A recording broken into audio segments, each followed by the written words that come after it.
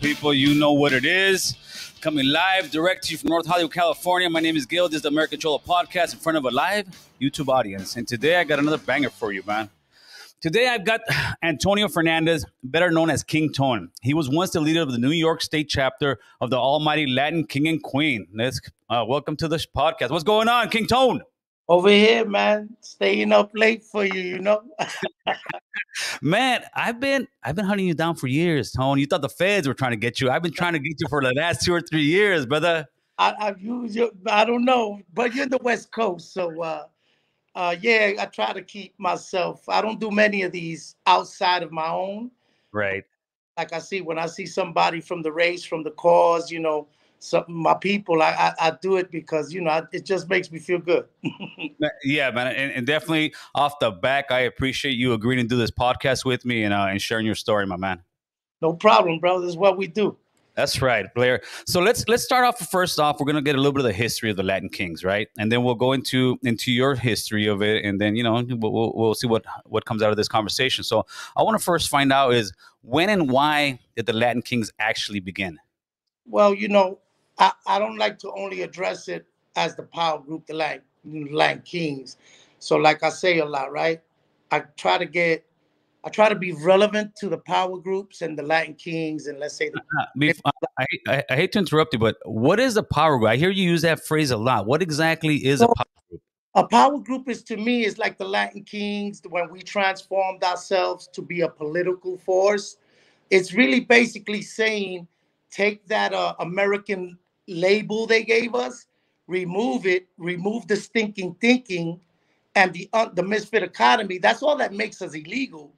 But the unity, there's power and unity that power groups got, that gangs that America calls gangs. That's why they made us a gang, so we could be illegal. Because if we're a power group like their forefathers were when they did the Boston Tea Party, if the king would have considered them a gang, George Washington would have never existed. Yes, sir. So, so what I'm saying is the Latin Kings is dear to my heart and is who made King Tone and and who helped him find his way out of addiction. So they're like every power group that was created in the 60s in the in the movement of fighting for our rights, the brown, the black, the Native American, the Martin Luther Kings, the Malcolm X, the Lolita LeBrons, the Oscars, and all you know, you know, like just out La Guava now, right? We, we got a lot of heroes. The Mexicans got their heroes who fought for their freedoms, right? That's why we celebrate Cinco de Mayo. But really, are we free, right? So mm-hmm. what I'm saying is the king started recognizing that if they learned their past history and held true to why we were formed to be a power group, to stand our ground and protect our community, and do it in the form that we were really created under the oppression that we felt from the Irish, from the Italian, from all those other groups that already had a piece of the pie. And uh, we we stood up and we stood with that movement. And the Young Lords were created, and the Black Panthers came along, and the Move movement was created. So what I'm saying, these are all fruits of oppression, where young adults started standing up and speaking out, and the Latin Kings was one of them groups. And uh, from Chicago was brought over to New York, and in New York, we started following those beliefs that we are a guiding light to all those who are oppressed, that we shouldn't become oppressors, that we are a representative of the third world. You know, we got a beautiful literature that taught us to understand how to be, you know, civil civilians, but in a society that accepts us. So with that, that's who the kings are, you know, and today, of course, like many of the power groups, we lost our way and we found ourselves so oppressed, we started mimicking the oppressor.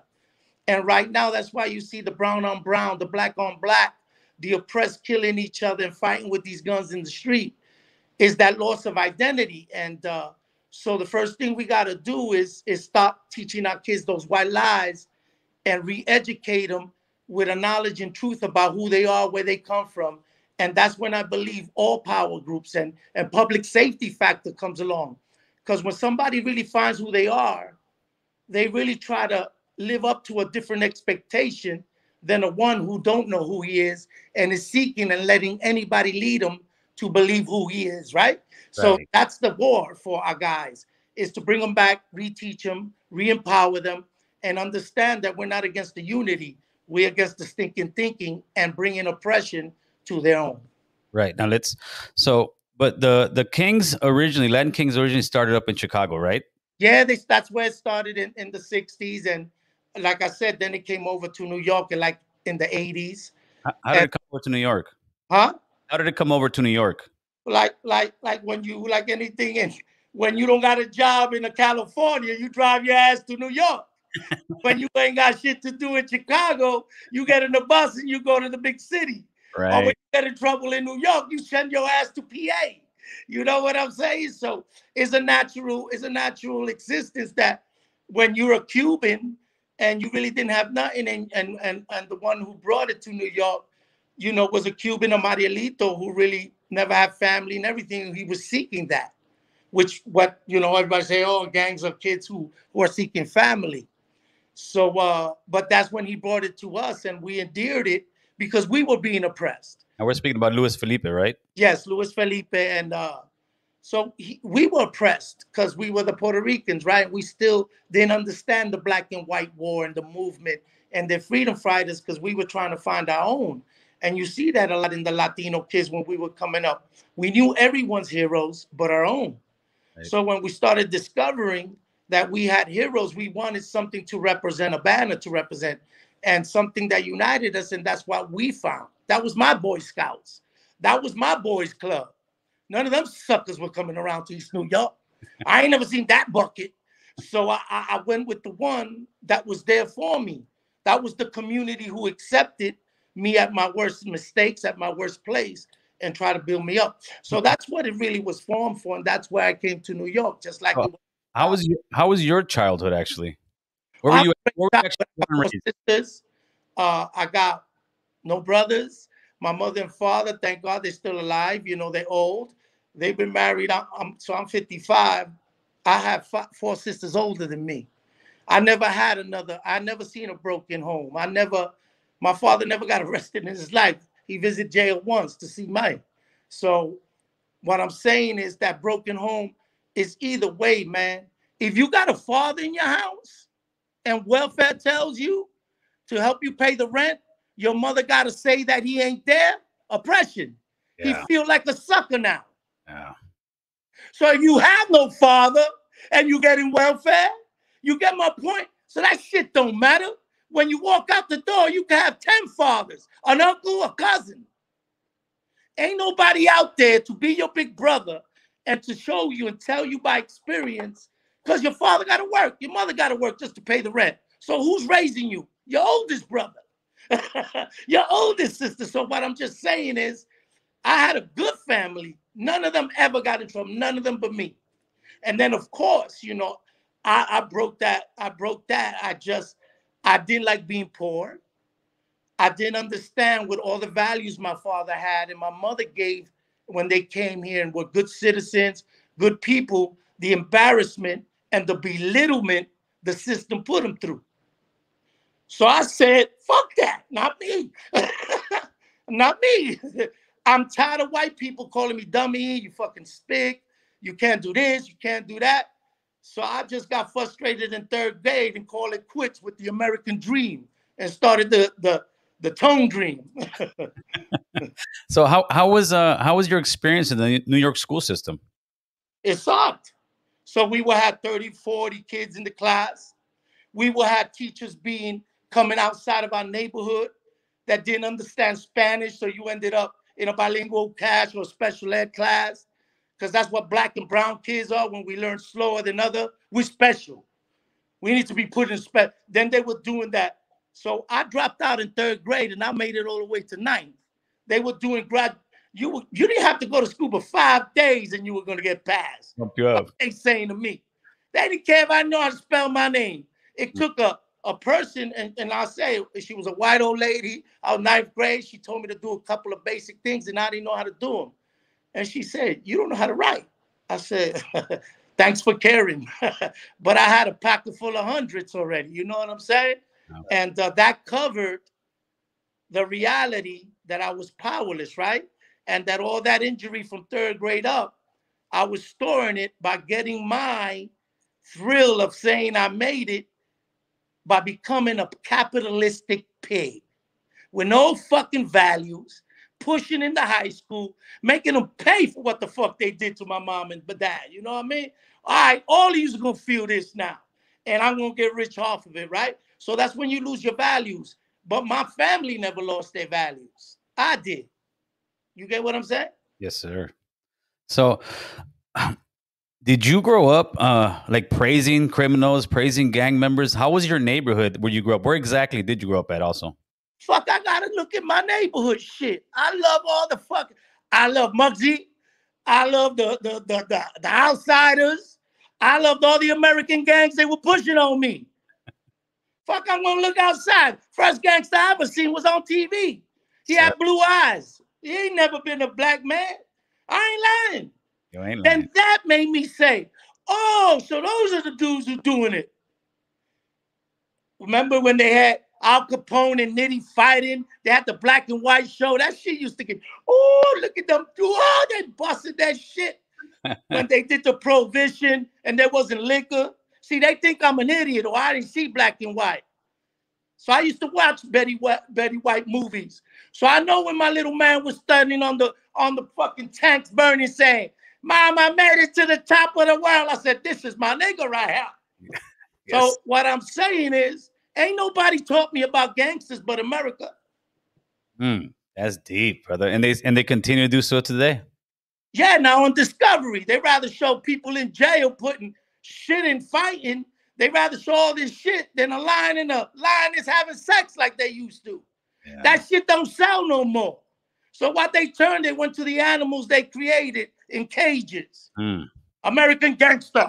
And then they put a gangster up there and, and they sensationalize a murder and they take kids that we would have never heard about, made them special. So know that that gang gets about 100 recruitments after they see that shit on TV the whole neighborhood is knocking on their door.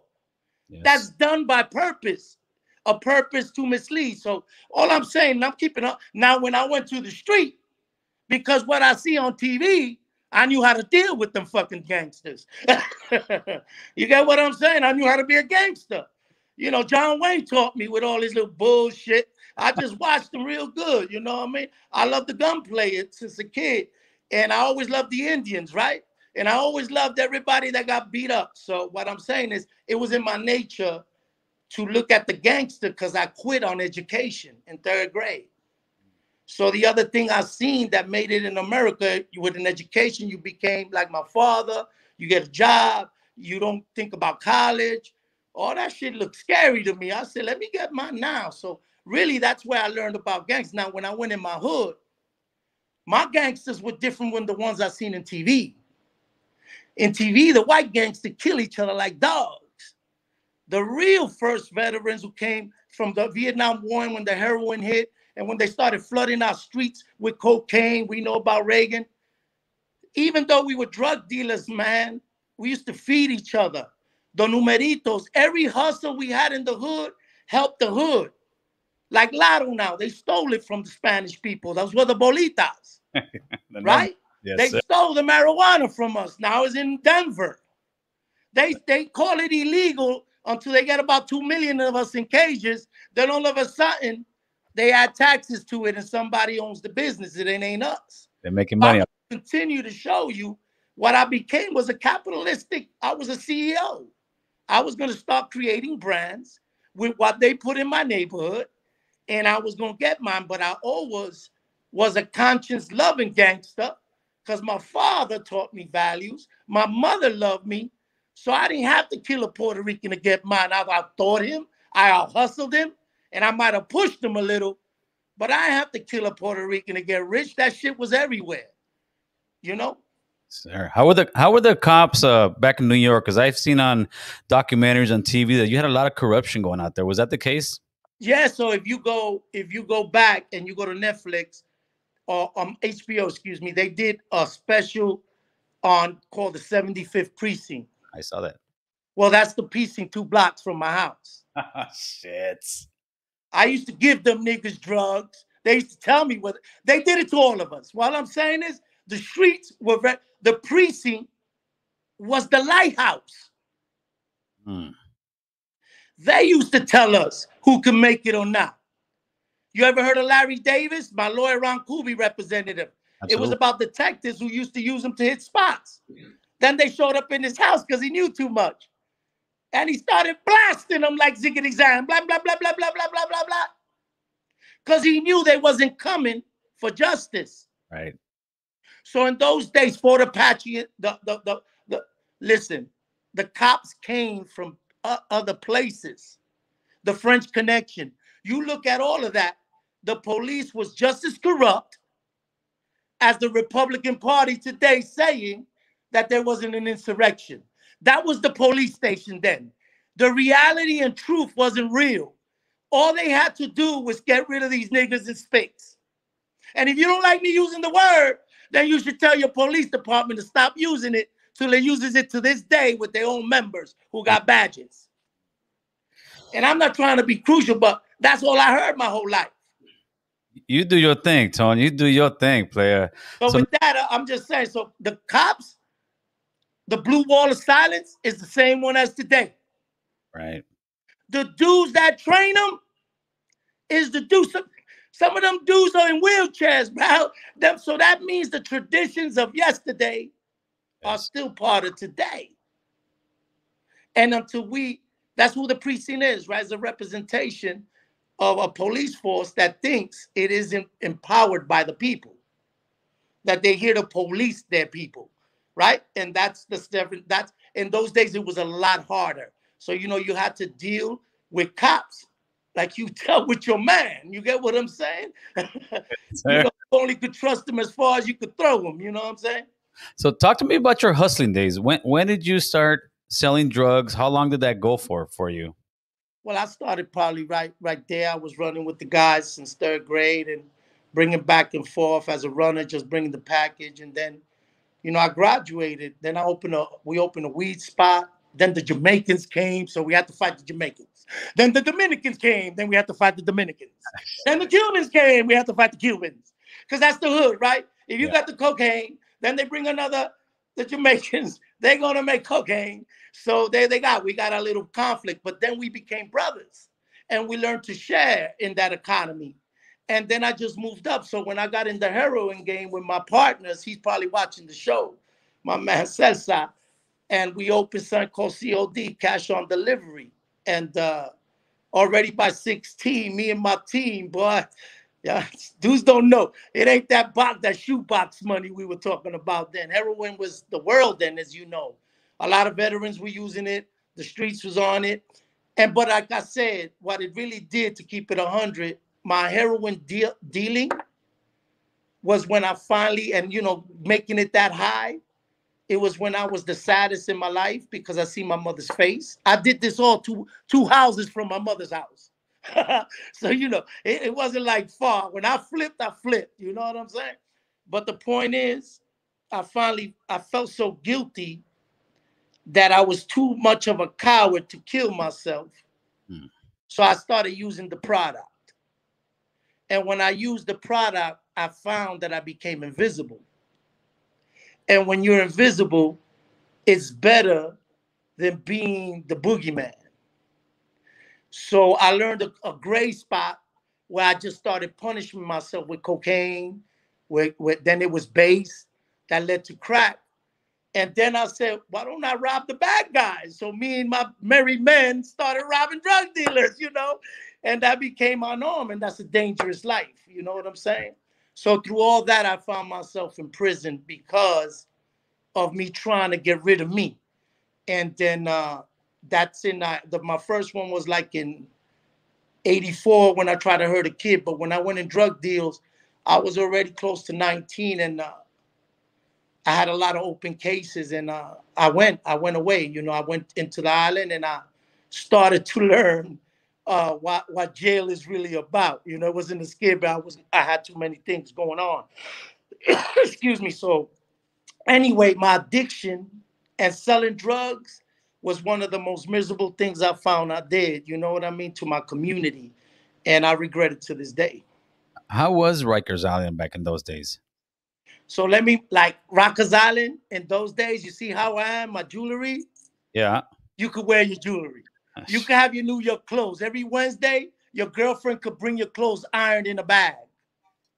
The phone was on the wall and it was direct. It wasn't a machine.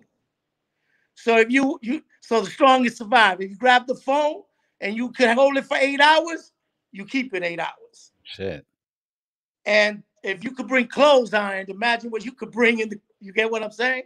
Sure. So it was New York, but captured the worst of the worst, and then we had to make it with each other because we wasn't sentenced. So we were pre-sentenced, so we had all the rights. We had to have some rights there, right? So they changed all that shit. But that's when I came up.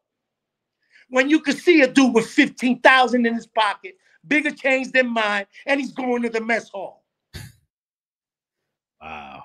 and you, you know, a lot of you talk, but today they changed the jail on you. You really had to make it. You know, you really. So anyway, when I seen that, it was like I became. I started robbing dudes in there, and uh, I remember in C76, me and my man Bamboo and Chino, we we do clothes. So we used to scare the dudes. Yo, you go in there, it's tough. Why don't you put your your chain, your your your your pumps, your Reebok pumps, your Casio watch, put in your socks. Soon as the dude do it, we seen he gave in. When I throw it down the chute, yo, it's in the socks. Rob him. Then we wear their shit to the mess hall. So what you think happened? I'm Uh, not trying to sound tough. What you think happened? Them dudes were mad as fuck. yeah, fuck yeah. So they got me. They got me. You know I'm, what I'm saying. You gotta give it and take it. Like a man. Ain't nobody sending me money. Shit. I done burned my family. I burned the drug dealers in my hood. So what the fuck I'm gonna do, right? So anyway, I'm just showing you the belittle that we do to each other. So I was also in a jail named C95 in Rikers Island, where they would give people that were addicted a hundred milligrams of methadone. Oh. If you too young, you take 100 mil- milligrams of methadone, call it quits. You dying. So why used to me and my team used to scare those drug those drug addicts? Then we call it spit back. You want to learn? You want to brag about jail? To see how nasty we could become? And I used to hold their mouth and make it spit it in a fucking cup. And I used to add Kool-Aid. And I used to sell it for three crates of Newport. Well, I seen a man squirm because he didn't have his medicine that night. I might have gave him his shit the next day. Y'all want to play with this shit? You think I changed because this shit was fun? You, I, y'all think it's a game. Till you have to go make a man spit his shit in a cup and you gotta mix it with Kool-Aid and see a nigga that call himself cool drink a man spit. Oof. Huh? That's the And reality. those were the cool dudes who were doing it. Uh, And I used to giggle. See, well, I'm, a lot of people don't talk about this part. I'm not bragging. That's a savage. I'm a savage. See the sick and the dude drinking it is a is not cool and he ain't a gangster. You're an addict if you drink another man's spit. sir. But these are the dudes who call us and give us orders in the street to our 13 year olds. The fuck out of here. Yes, sir. Yes, sir. So, when did you actually? Because I know you went into jail again. I don't know if it was Rikers Island, and that's when you, the Latin King kind of started coming into your life, right? I was like that, and I was gonna start a racial war, and an elder pulled me in, and he took that anger you see, and all that animalistic shit I was doing, and he he he, he called me stupid. Ain't nothing good like the truth to hear you. He said you stupid. You get on the phone and you ain't calling nobody because I don't hear you, and nobody's talking to your dumb ass. So why don't you take that time and lock in and learn how to read? And I got these two brothers that are tutors. Because you keep it real, you keep it real fucking stupid, he used to tell me. You're always in trouble. So he just, I love him to death. He, King Mafia took me and they, they, they, I learned how to read. Then I started getting, once I learned how to read, they had problems. Then they, I still struggle with writing, but then they taught me how to write. And then they taught me how to get my values back and learn of heroes that did great things from Puerto Rico and Dominica and Albizu Campo and all those people that made me who I was today and where my bloodline truly came from. And finding myself when I came home in 92, it was a problem because I had I had a power group. We were still this thinking, thinking. I had knowledge, and then they saved me from myself. So when I came home, I had a big debt to give back to the crown and the nation. And to this day, that's why I don't denounce them. Because they never made me do anything I didn't want to do. They I was already bad when they found me. Yes. So what I'm saying, so today I give always back in my messages and my love. And when people see me, I want I, I want them to say, that's a good king. Like you say, that's a good Muslim. That's a good Christians. Because there's a lot of piece of shit within our own organizations, like in the police force. And if we're gonna be real about ourselves, when we talk to evil and bad and misjustice, you know, I got if I'm gonna talk it about it in your mob, I better talk to mine first. You know what I'm saying? So, you know, I never deep. So that's the point. I don't try to show people that I believe they're their worst mistakes, they're their worst crimes that they're committing right now. I see them where I'm at, and I know the road is long, but an old dude told me the victory is certain, right? If you just put your work in and you start learning from your mistakes. So that's what that's what it did, and that's what the nation did for me. And it got me to the platform when I came home that I started doing my actions with the group and I got good leaders behind me, and and and I started articulating what would it take to transform us into that thing that we always wanted to be, a lighthouse for our community. Now, if you would touch on amor de rey, what does that mean to you guys when you say that to one another? It means like when a Christian says hallelujah or amen. It means like when you say hello. It means like when a Muslim tells another Muslim, you know, Allah Akbar, or when you say I'm just saying we all got our greetings. We all got that. They just sensationalize our gangs because we have to be criminalized. That ain't what makes us bad.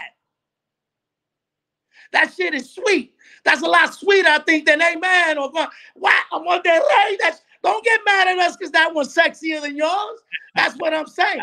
I, yo, I used to go in the morning to my mailroom job when I was in New York, and I was in in the Latin Kings. I always had a job, and I remember I used to see all kind of religions and all kind of people on the Pack A train. Boy, but let a Latin King walk up in there, and let him see that you a Latin King. Niggas used to blush because we'll walk through everybody. We'll touch each other. We'll hug each other, and we'll start talking, and they're all looking at us like like we are known. Now that's my brother. Fuck it out our way. Hey, amor de rey. Do I'm here? What's up? Let's talk. And to people that was scary, but I thought that's what Christians should do, right? Be proud, be loud, but don't be obnoxious, right? That's right. Don't, and that's all I'm saying. That to us was just the greeting where we, when we see each other, it's known. amor de rey, I'm here. amor de rey, I'm here and you sit your ass down and chill. With it don't make we break out guns and start shooting up the train. Wrong neighborhood, wrong gang, wrong color dude. That's so, on the other side of the suburbs where they get guns and they just shoot up trains and Walmarts.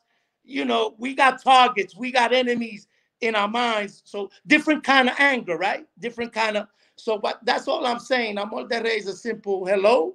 We love you, and, and you know we here.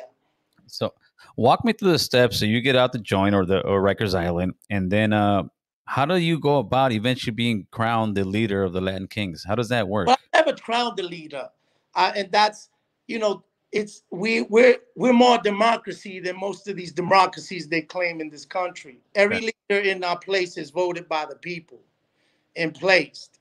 And as you do your action in your place, you gain that respect where like anything, you get voted to higher offices. All that shit you got to do come play. That's for savages. Why can't you think of, we think about better? That's just what you made us turn into, and you made us believe that was power. But I was very much, and my my organization was built on a thinking man. There is no room in our nation for a dumb man. So we must teach each other because we're strong as our weakest link. So we taught our people how to pick their leaders by their actions, their words, and what they represent and did for them.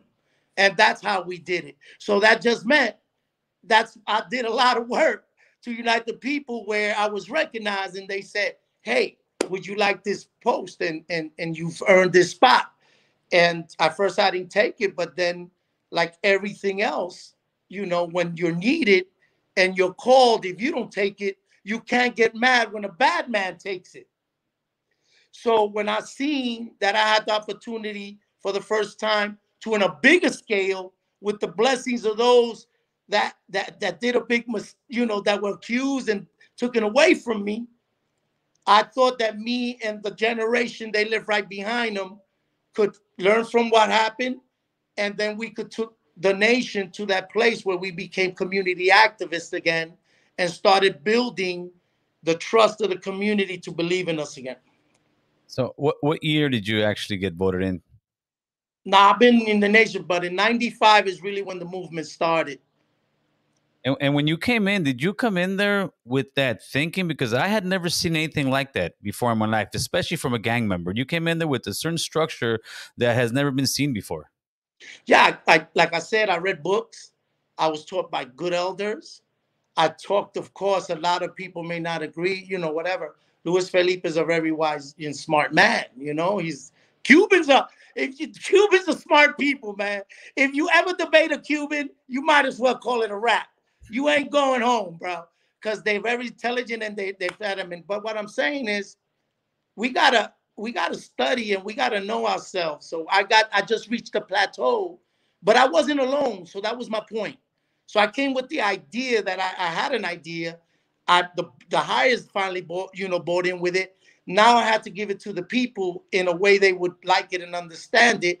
And again, the best way to do that is not to become an American gangster, but to give the people the leaders they call for, and then give them the right and the safe spaces to speak, and then take them out of parks and out of the dark and put them in lighthouses like St. Mary's Church, where you see a lot of the videos, where Luis Barrios took us, and Father Barrios started accepting us, which connected us with Dave Brotherton, which gave us the College John Jay, which led to Richie Perez, who ran the Puerto Rican, the Puerto Rican Rights Unites Young Lord. And then, which led, you see, then the outside influences as I taught them to trust each other and that there was nothing to hide but what? Our stinking thinking. Our literature ain't shameful. The way we say hello isn't a shame way. It's the what we were doing to earn our daily bread because we come from an oppressed place. So what happens if we take dope and replace it with hope?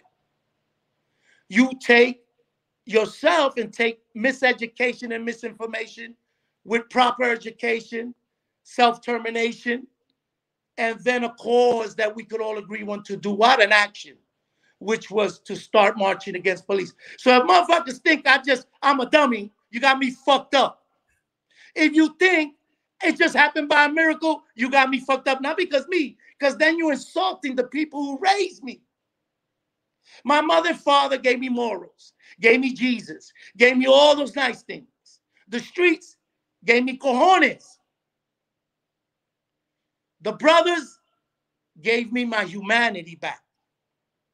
And then I got a cause. I wanted to save my people, like I was saved from addiction, from stinking. So, anyway, we got a good group of leaders that were chosen, and we started having safe spaces and we had other people who told us, like Richie, this is how you organize. This is how you make a newsletter. This is how you get your economy to self-sustain. This is how you make t-shirts and sell to feed each other. This is how you let us help you. This is how you protest guns in school. And then what? And then I had Marines. Then I had, we knew how to do left flank, right flank, about face. Don't get me twisted. Because I knew that if you inspire people to march, and to let their voices be heard against the enemy, you also got to teach them the line that they could storm the Capitol, but the Latin Kings can't. They would murder us like they did the brothers in Attica they when they stood up to get pencils and so we could get haircuts. Attica's a jail upstate, New York. Read about it. If you never read about it, You ain't really know your history. They sent the National Guard to shoot them men in the yard. They slit other COs' throats to make it look like it was the prisoners because they wanted pencils and pen and paper. How did how did uh, the group of young men that were from the Latin Kings take to your message of peace, of not selling drugs, of kind of because those guys at the time were. If you take, if you tell me, right? If you tell me, give me, give me a gun, give me your gun, give me a job, oh. give me your dope, give me education. You can't take something and leave the hands empty. So that's what America likes doing. They sell promises, they make contracts, they do all that shit, and it could change in a day. My point, they did it to the Indians. They gave them land, reservation caps, right? Trail of Tears. It was all a lie. So what I'm just trying to teach you, man, that that's what I taught my nation. I said, we don't got what we need, but what we don't need is what we got. And that is us using things that are short-term remedies to get the money, which leaves our wives alone, leaves our kids alone. We keep going back to jail. So we must fight to get this straight economy. We must challenge Giuliani, that crook, that robber. He was one then, he's one now, and it's proven. So that's the dude I fought.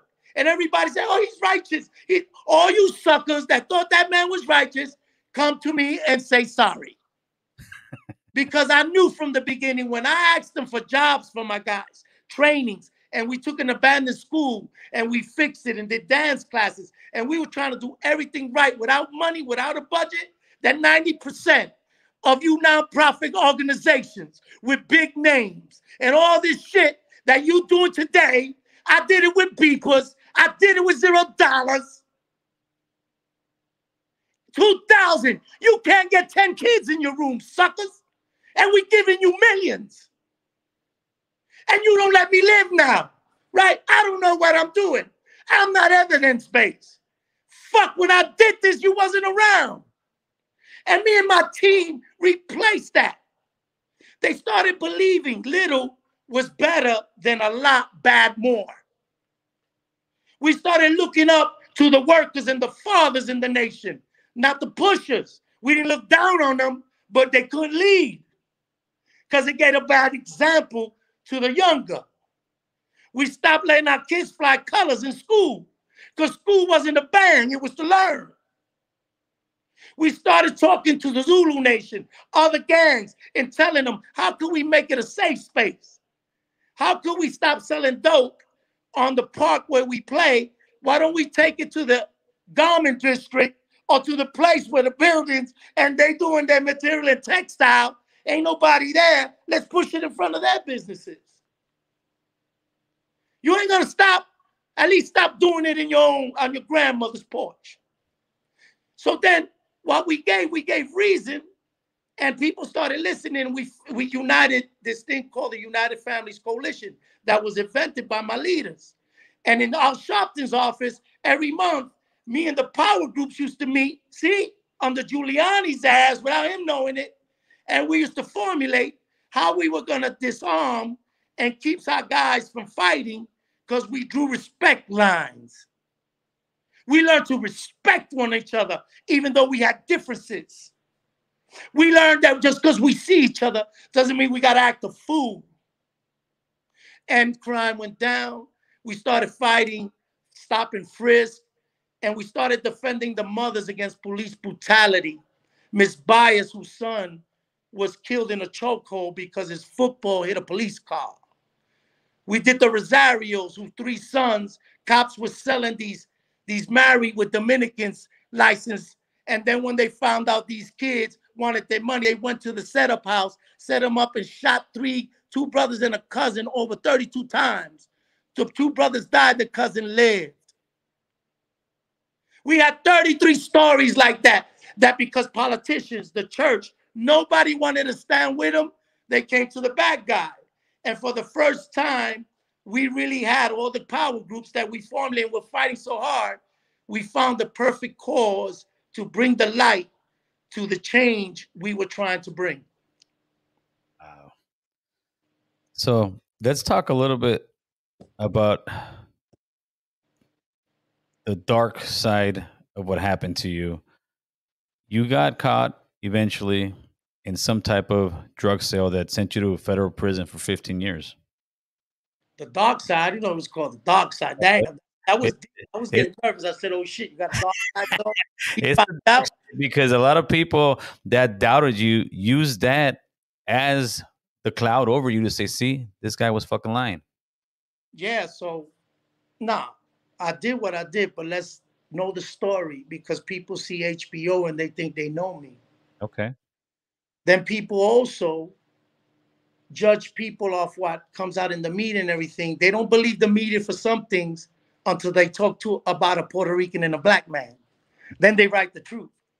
But when they write about a white man, it's a lie. You got to check it. Or they write about Laura, you got to check it until they write about Tone. It's the truth, right? But with that, I'm saying this. I always had a job and they could record it. Always kept the job when I was a leader, of the king. Then the feds came for me. I became the number one man wanted in New York without a car, without able to even travel to each borough without reporting to a police, living in a small apartment, making 35,000 a year, working in a mailroom. And when they came and made me their objective, they went to my job and they started chasing everything that I held dear as a legal job and a legal identity which led me moving my my my family, which at that time was my first daughter, jumping the brothers know from house to house. Bake, know what I couldn't make a living, but and I couldn't use my people's money for my living. Got two choices now. And I want to change, and I'm fighting, and I'm not. And then it, it came to the boil that rent was due for three, four months. I was running. See, and you would say, damn, Tone, Fuck. How could you owe that if you got these six, 5,000 people? Because a motherfucker never robbed nothing for me. A motherfucker never sold nothing for me in the nation. That ain't me. So when I was fucked up, guess who did it? Me. I ain't call my junior to rob somebody. I didn't call nothing. I was ashamed to ask all the people who were helping me and believed in me because that Puerto Rican pride, I couldn't say, yo, I need $7,000 to pay the back rent or they're going to kick me and my family out of our project. So I trusted one man and I let him do something in my house. That's all you seen was after fact. All I did was sit and let him back, son. And then they set me up with the view, and he was already cooperating. And that's when I found out four years later, because they didn't arrest me immediately. They would follow me four more years to catch me doing bigger things.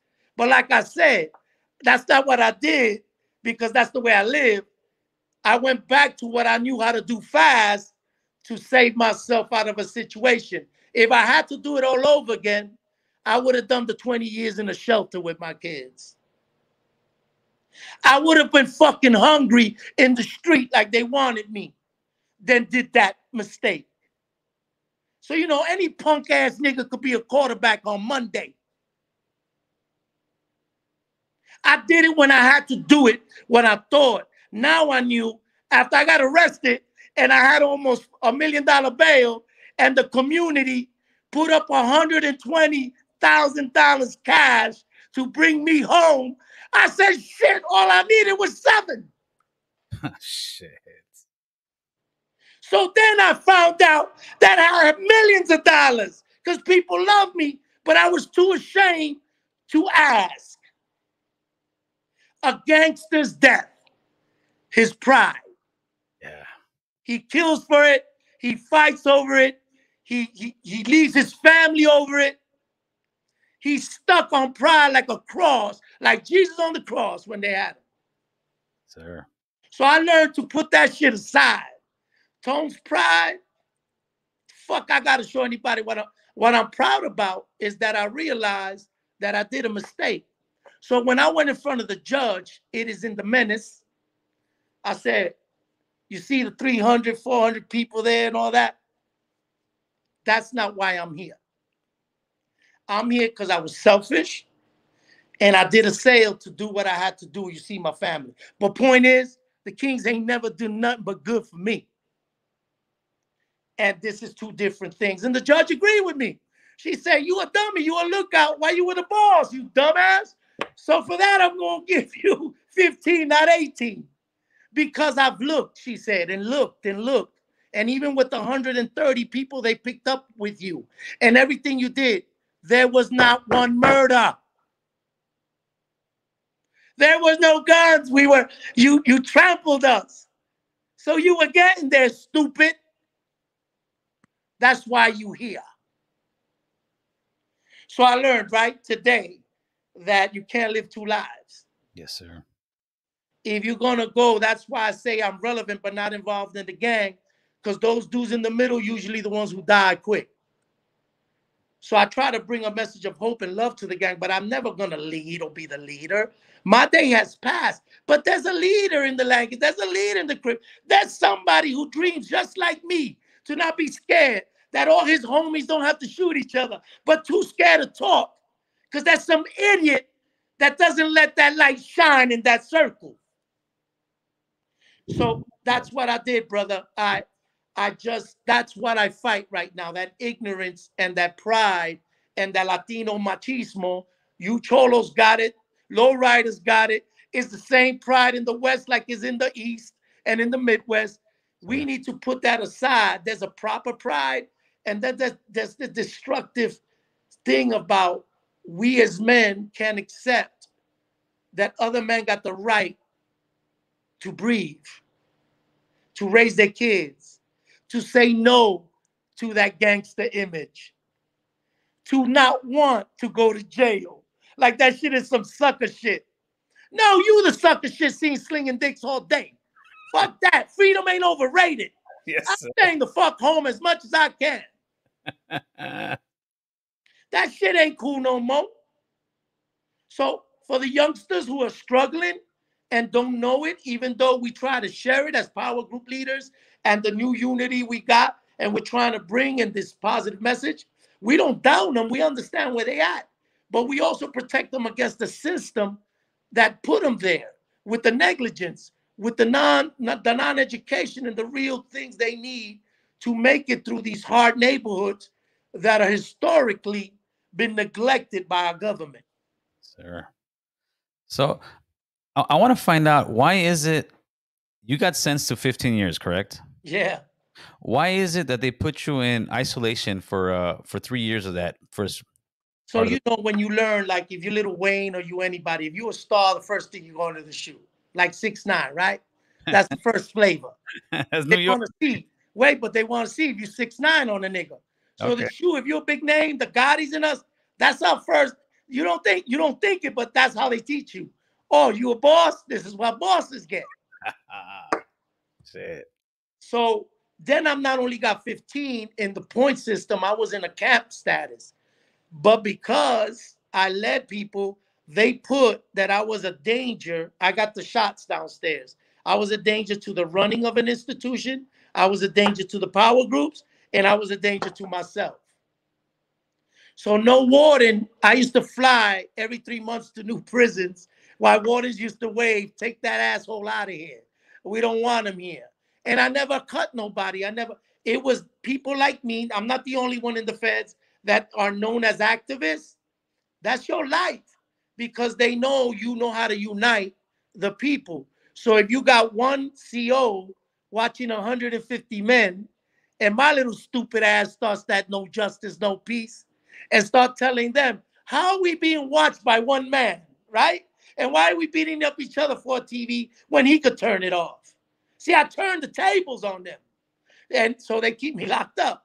But uh that shit wasn't funny either. You know, I started learning, but really it was the best thing that happened to me because it's where I questioned my foundation again. Because I said, if you were doing all that good, you sure as hell ended up real bad. So that meant there was still things within myself I had to fix. And to everybody who judged me, I was never perfect. Nobody took me to a fucking Ivy League school in Harvard and taught me how to lead. Nobody gave me a map how to do what I did. I did that shit with my men's on the run. we did that shit in a little table with queens and people who had a ninth grade education. We were shaking the city. So that, that that's how I believe, man. Something authentic, something by the people, something that uh, these kids see that's based on love. Man, right now I walk into any hood, man. if I was if I was gangster enough to die for a lot of stupid shit, how much further I'm willing to go for a young girl or a young soul that I want to bring out that darkness, right? So that's the dark side of me now. These dudes who think because they're that they're that dude that there isn't light that's that's got the cojones to go in the dark, right? Then I'll bring him to the pastor so he could get his 10% after I get him all fixed and he's all nice. Then the pastor could keep him. But his ass ain't gonna go out there and get him. That's a scary world out there. You know what I mean?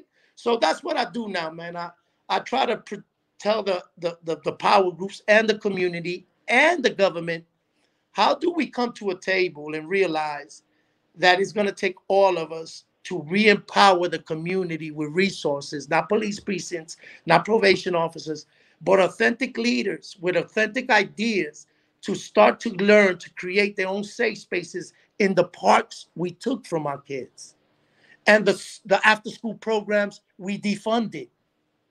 Our kids are there because we put them there. What What would you say to any youngster thinking that he's gonna go to the shoe and he's gonna be a superstar? He's gonna go to prison. It's gonna be all glamour like they see on TV. What would you say that life is really about in there? Well, if you're ready to, uh, so first thing when you go to the shoe and you meet, you gotta let everybody know you there. Then it, you got 30 days to bring your paperwork like this, and you got to give it to another man. And if your paperwork is six nine, run like hell. Run like the devil. They're gonna eat your ass. They're gonna just stab you up. I'm just gonna talk reality. That's right. Even if you're in the shoe. Then after you get that process off, no matter how big you are, the name you are, they're gonna want to see that black and white, son. And then after that, I have to empty out my toilet with a cup, clean it with a rag, because I got a little note saying we got the toilets clear so you could talk to us through the toilet phone. So nobody shit so you won't hear the running water and the turd going by your conversation. It's like getting a fucking you know when you talking to somebody in your phone now your new phone it gives you the the, the hey you got a text? Well we knew when they you think it's funny so you talk. It's happening today with I got and i'm not doing it to belittle them. Y'all want to go there? That's to be your phone, sucker. And when it's dark and dim like me now, when I see the sun, it burns my eyes when they paint your window black so you can't see out or throw the signs. And then when I stood there and you got no books to read, and then everybody around you screaming always because all of us are gangsters too. We got to be with ourselves. And if you don't know how to do nothing but be with you, you go crazy. And you start eating your shit, cutting your veins, screaming at the dog. So if that's what you want, and if you're not in the shoe, which is a lot safer, because if you learn to be with yourself and you don't hurt yourself, you're pretty gonna live. So they call that a shoe buster like me. I'd rather be in the shoe than in population. You know why? Because now you got 1,500 fucking fools you got to think for. You got 76% of those are murderers not going home. And they're good guys. But every so like three months, they all remember they're not going home. And then they look at a little sucker with a big mouth like you and me with 13 years saying he's King Tone and he runs the world and blah, blah, blah. They say, you know what, King Tone? Let's see if you want to get life, because I got it. I'm gonna try your little ball-legged, fat walking ass and see if you that gangster you put up. So every day is a scared day. Because the first gangster usually became a gangster the day he was the scaredest. When I went and got my gun, it's because I was scared, not because I was brave. When I went in jail and I put my first one and did my first cut, it wasn't because I was brave. It's because I was scared of him. So I got him before he got me. Fear.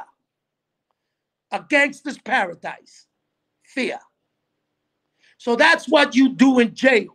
You scared now, like a man. Don't mean you're a chump. But we learn to live with what? That fear every day. That 1,500 of us now captured, don't have no way out. Some of us don't got money. Some of us, the family left us for dead. And somebody in there has got to let me eat. If you're ready for that for 20 years, check it out. I'll give you my number. Mm. you go do it my bed because I was scared every day as King Tone. I was scared in Rikers Island. But I faced my fear with violence. And it made me a monster. So now I learned to face my fear with compassion, with understanding, with courage that doesn't harm others, but moves removes the fear from being something that causes me to what? To give my freedom away due to I'm scared of something when I could question, I could I could investigate. I could ask the person, yo, you scared me, bro. Why you beat why you jump me on Burger King line, bro? I just do I just wanted a burger. Oh, I didn't even see you, shorty. All right, big dog. Communication. So what I'm teaching y'all is I got rid of the pride. I started understanding that the people I feared look like me, talk like me, broke like me, in jail like me. So why should I feed off the fear?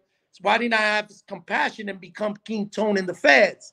So there's few of me and few of people like me in the whole federal penitentiary across the country who think like me. And that's why we're trying to build more credible messages in the feds so we could start training our guys who are coming home by who?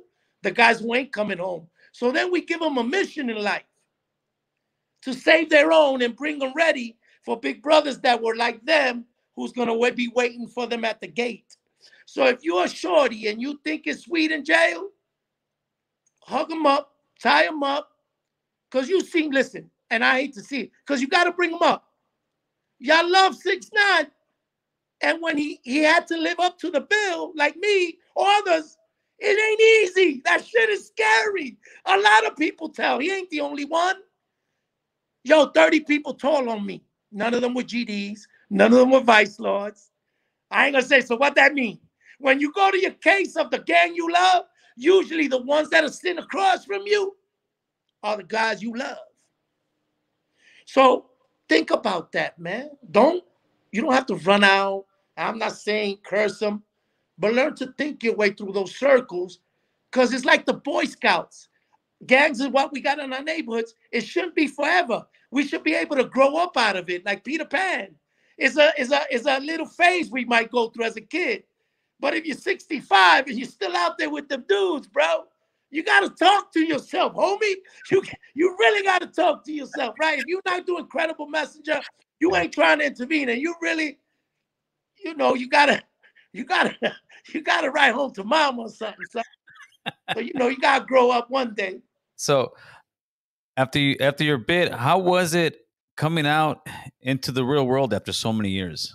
And what did you start doing? Well, you know, at that time, thank God, uh, during the bid, I met I met uh, a young lady who took interest in me. We got married, 2007, in a prison, and from there, I came to Virginia and I started a new life with her in 2009. And in 2009 in Virginia, I started building my credibility. I started killing animals on a farm. Nobody would hire me. Gang intelligence hired, uh, got an apartment across the street from my house. She seen me thrown down and took him from her into a precinct, put naked, and took him pictures of my body by 20 officers. She seen and knows about them going to the Walmarts and everybody and telling them that I've came to. And, and Virginia is a, is a different state. So they blackballed me from the writ. So my PO officer gave me a job killing animals for $75 by hand. I was killing cows, freaking sheep, and all that. And I really was like, God, man, this is this is it. this is what it's come to. But he said, don't worry, I'm building you up, son. So from there, I, I took a church and uh, in Smoketown Road in Virginia, and it went from kindergarten to college. It had about three thousand dollar, three thousand members, and I went as a maintenance man who didn't know shit. And in six months, I became the manager of Hampy's Inn, and and I stood there three years, and then I got myself secured, and and I and, and I showed my partner that I was valuable and that I'm in the game now. In 2013, I packed up from Virginia and went to New York because I had to go back and say sorry, and I had to go back, and she was crazy enough to come with me, and uh, there I went and I met my people, and that's when I started opening programs. I worked for CCI in this place called CCA. I started two different programs, one in East New York where I grew up for a year. Then I opened one in, in Newark, New Jersey. And then in 2013, after the community and everybody seeing me, my fruit, and my brothers and sisters see me, and I practiced what I told them I would come back to do, not to what everybody expected me to do. It disappointed some people that I chose activism and movement instead of going back to leadership and helping them when that would have been the end of me and them. And it just wouldn't end well. I came back to Virginia, to DC in 2015, and I opened up Grow Up, Grow Out, and I started doing my own programs with my partner, Clinton Lacey, and we now going national. But it was a hard road, bro. I still pay child support with the old, and they, you don't know what the system did to make me quit believing that I could have I could have been something else, right? I'm King Tone, but I could have been Antonio Fernandez again. I could take my maiden name. I could have been the dude, the name and the person my father wanted me to be. So I, I work hard so that name is as valuable as Antonio King Tone. That got street value. That shit don't pay the rent. That shit don't do none of that.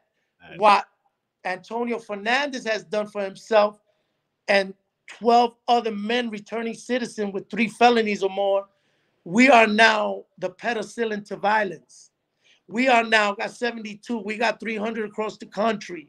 We're trying to reestablish and show America the returning citizen is the penicillin to this disease. We could train them, we could empower them and give them good paying jobs. 46, 56,000 a year. Come on. They could compete with the drug dealer. Yeah. They could pull up on Shorty and say, I'm driving the same car that cocksucker driving, and it's legal. And I do it with tone. And we got the bling bling. Guess, sir. But we do it with credit. This how you do it right. we don't buy it at the same time. It took us patience. And imagine when the do you fear coming back from hurting your child more now becomes the public safety, and he's the credible messenger who brings them, like I said, to those outside influences again that they trust because Tone is saying this is the right medicine. These guys will really help you get housing. These guys will really help you get your kids back. These guys will help you get an education. Your moms can really come here and we'll help her get the house right. And nobody's going to intrude, make you feel like you're losers. All of you are worth everything that we got and we invest the money from the system back into providers that are grassroots. That's what I'm fucking talking about. Yes, sir. What What are your thoughts on the continued war on gangs? It's been going on since the '80s. Now we have a new a new uh, a new uh, gang that they're out there looking at. What, what do you think about that? Well, we were just screaming three months ago, refund the police. Now we're all screaming, crime is up, and the red meat, the gangs. Boy, that shit came quick, right? The crime is up. Of course, if the cops stop doing their job because they mad because they had to sacrifice one of them, and we screaming refund the police, how do numbers go up? You get a lot of gun shows going. You get them guys to drop off the guns in the neighborhoods. You get the dope free, and you turn a blind eye to crime. And you saying it's everything and everything, but it's you doing what you're doing. Same kids, same gang that was there six months ago. All of a sudden, they're killing each other like rice and beans. And now, what we're doing, we're thinking of ways to what? Have a war on crime. See, we had a war on drugs. We had a war on the freedom right movement. We have a war on gangs. Why don't they ever do a war against poverty of a misenfranchisement? Why don't instead of sending four dudes to space for 12 minutes for almost close to a billion dollars, and you go to the ghettos for half, you could do the whole East Coast and give us new schools, yeah. with air conditioners. Wouldn't you be more prideful as the boss of Amazon than giving 20 computers, than building schools? And then you don't got to tear down statues because then our kids will make new forefathers, the true founding fathers of the country, will write education books that tells the truth of history. So then we'll build new statues of greater heroes who made this country red, brown, black, white again. That those could take pride of who they were, not talking like they just gave everything up and became who they are. That the rubble we got is the rubble we created, is the one you gave us. Hmm. And we're forced to build houses with that shit. So that's what I'm telling people. Invest in us. Invest in credible messengers. Invest in these grassroots. Stop giving the money. Yo, they just gave billions of dollars to stop this street crime. You hear, you hear Biden, but they gave it to the same programs. Yeah. They've been failing for fucking 20 years, damn it. And they won't give me shit. And I'm proven to change lives. And I've seen 7,000 niggas march with me. Why? Because they got to give it to those people that ain't really fixing problems, ain't really doing the work. How is crime up if you just gave $200 million to providers in the streets of Chicago? What are they doing? Send them to me. I'll teach them. I got two more questions. I know it's getting late out there in the East yeah, Coast.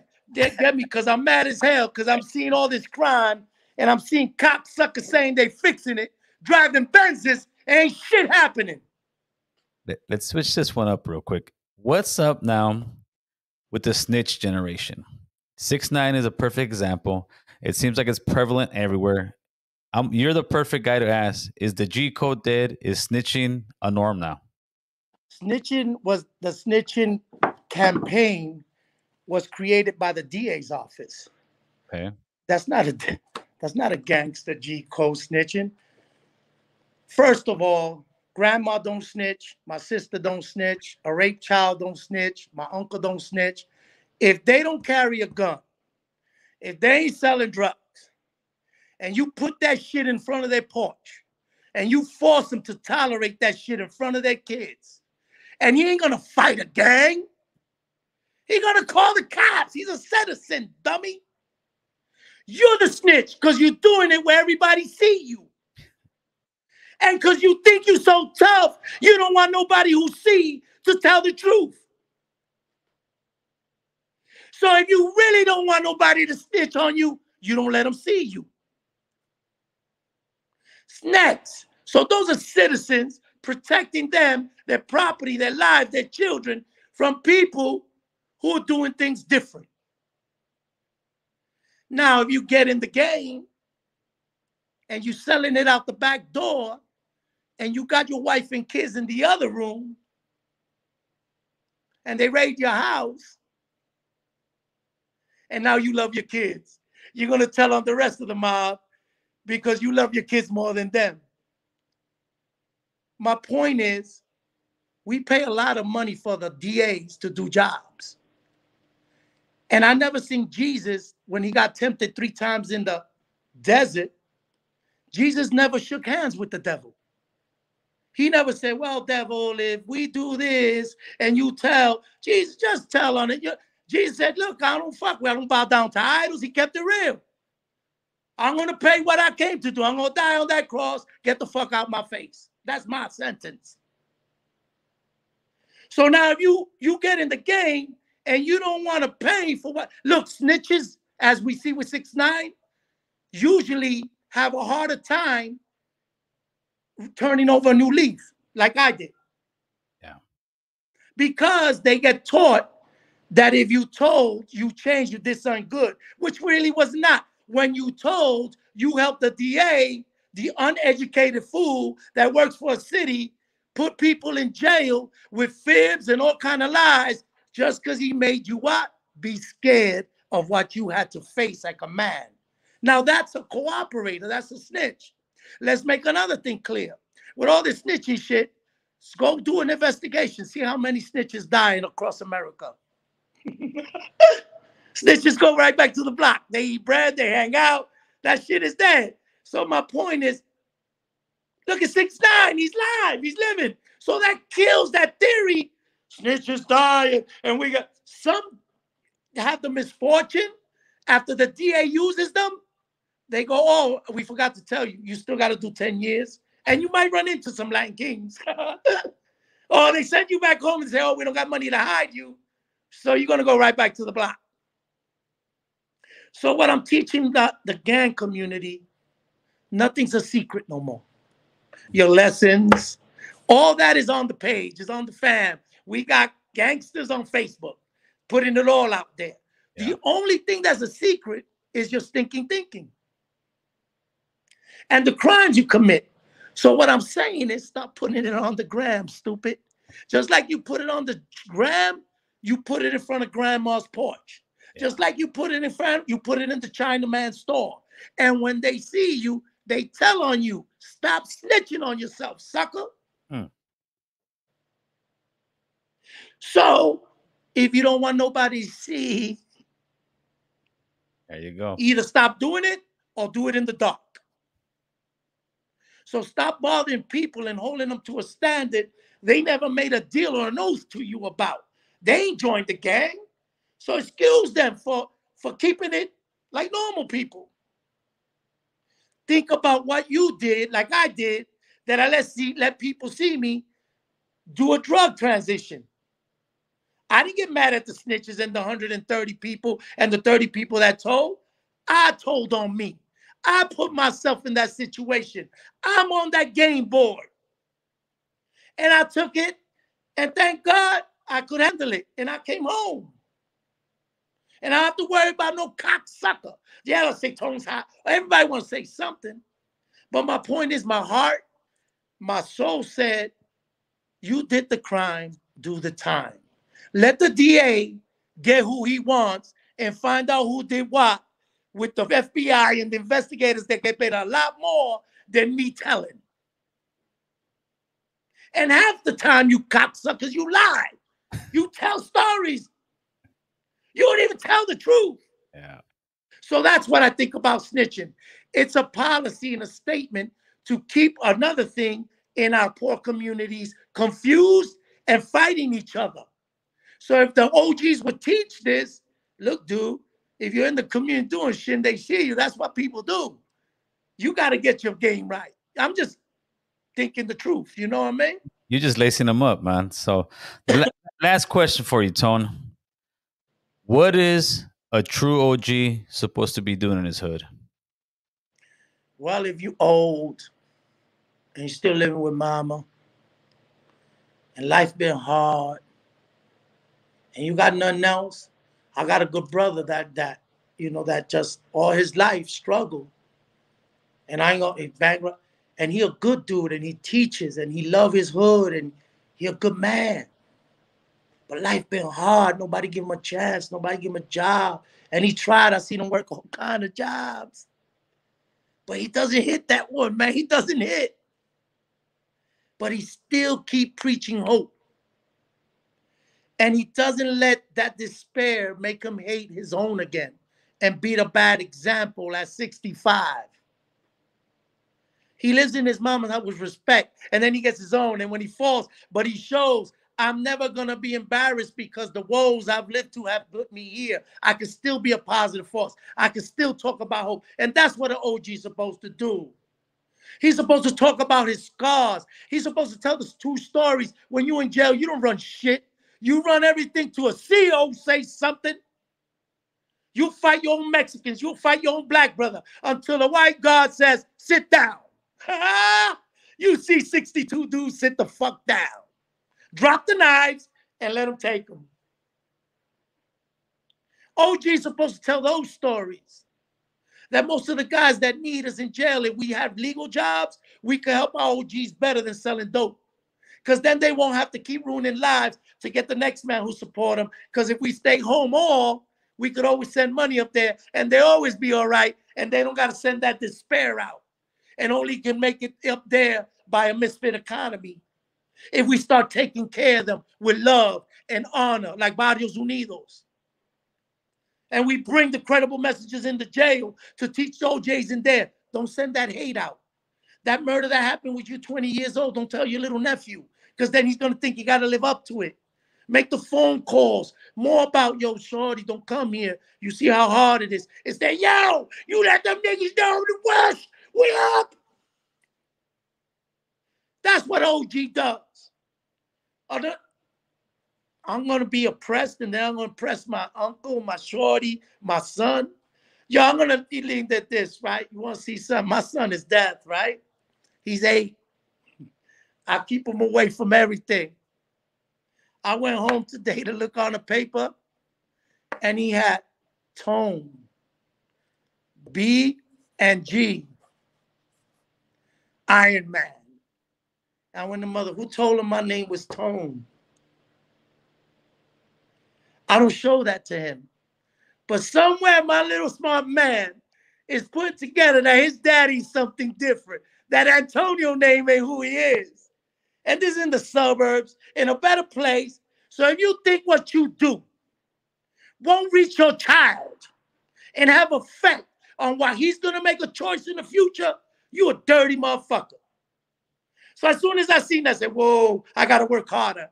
Because he's gonna learn about King Tone but I also want him to see the other half of my life grow up, grow out, saving people, being a good OG. So when he makes that choice, he chooses what I chose after freedom, not a bondage to something if it ain't leading him to freedom.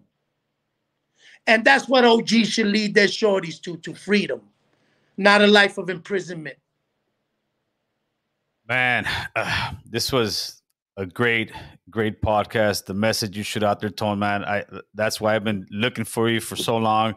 I just want to thank you so much, Hermano, from coming on, man. Much love from the West Coast player. Love you, Alex. You already know. Grow up, grow out. Credible messengers healing your community. Save space for power groups and free the homeland, Puerto Rico, suckers. ah, shit. All right, let me see.